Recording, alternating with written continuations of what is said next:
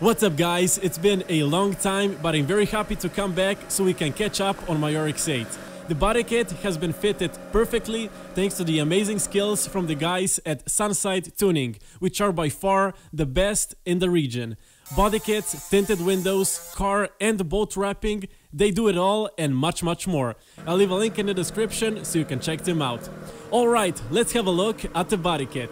Remember the famous side gap on the front bumper? Well, one of the toughest jobs was fixing it in order to make the bumper fit and also to make the side indicator fit the bumper. The final result is amazing. The blinker is perfectly inserted in the bumper and the edges of the bumper around it are trimmed to perfection. The headlight washers have also been installed and they also blend in perfectly. The side skirts are also on and they also required a lot of trimming in order to make them fit and allow the door to be closed normally.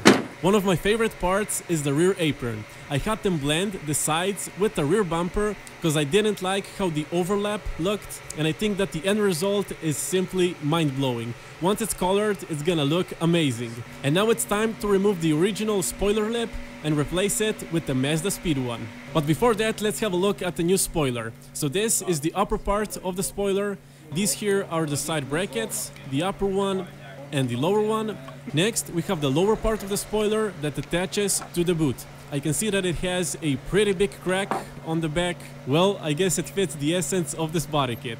Since a fog light is required by law, I thought of installing these blackout fog lights in the middle of the rear apron.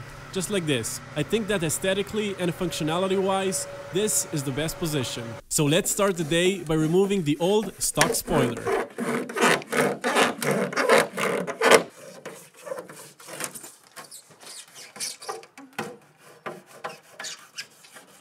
And it's off. Let's have a look at the bottom of the lip. We can see that it was held down by a couple of pins and some double-sided tape. Let's have a look at the boot. We can see the pinholes and the splatter tape. I don't care much about the car's paint since the whole car is gonna be painted. So now it's time to spray the surface and wipe away the dirt. With that done, it's time to bring in the car to finish the install. Alright, time to get some sticky gum and attach it to the bottom of the bracket.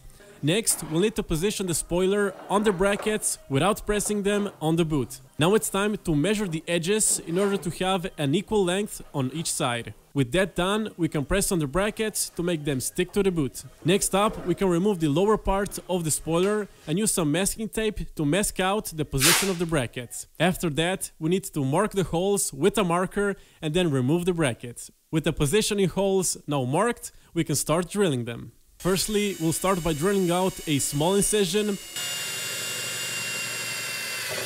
Then we'll get a bigger drill bit to enlarge the hole.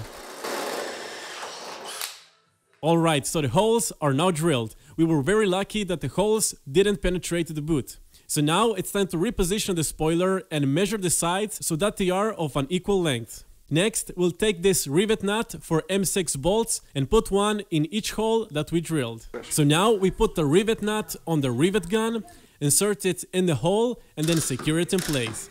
Okay, so the rivet nuts are in on this side and also on the other one. With the holes now ready, we can position the spoiler that's attached to the brackets, screw in the bolts just a bit to see how well they sit and if the spoiler has the same distance on both sides. After the measurements were taken, we had to enlarge a couple of holes to make the bolts sit in perfectly. So now with the spoiler repositioned, we can see that the distance between the boot edge and the brackets is about 2.4 centimeters. And if we compare it to the other side, we can see that the distance is the same. Now we have to mount the lower spoiler to measure the sides so that they are equally distant. Everything fits perfectly. So now we have to mark the exact position of the brackets by tracing a line around them with a marker. Time to remove the bolts and take down the brackets. Now we need to get the surface nice and clean before we permanently attach the brackets on the car. We'll start by blowing the dirt away and then use some nitrous to degrease the surface where the brackets will sit. Obviously, we also had to clean the brackets before attaching them. Alright, now we're applying some silicone to the base where the brackets will sit. It's important not to apply silicone too close to the edge, otherwise it will overlap the brackets and you'll make a mess. Now it's time to carefully position the bracket in place and slowly screw in the three bolts with your hand. When done, tighten the bolts with a screwdriver. Next, it's time to fix the crack on the lower spoiler. Firstly, we need to mask the crack with some masking tape, then mix up a special resin that's gonna fill the crack. Now that it's mixed, we can pour it in the inside of the lower spoiler and let it sit until it dries. Next, we have to clean the central surface where the spoiler will sit. When done, it's time to fill the old holes with silicone to prevent water and moisture from getting in. The lower part is now ready, so we can clean it with some nitrous. Next up, it's time to lay the silicone on the surface that's gonna attach to the boot.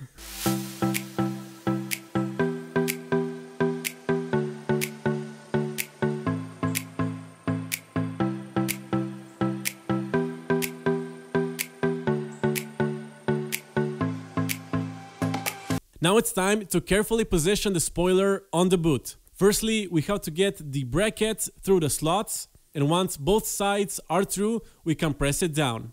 The spoiler is now attached, but this side is not sitting down properly. To fix this, we're gonna press it down with a clamp so that when it dries, it will be perfectly attached to the boot. The spoiler is now mounted and all we have to do is wait for the silicone to dry and attach the upper part. In the next video, we're gonna see how the final result looks and take the car to the paint shop. So if you don't wanna miss the video, hit the subscribe button, give this video a like and check out more RX-8 videos on my channel. So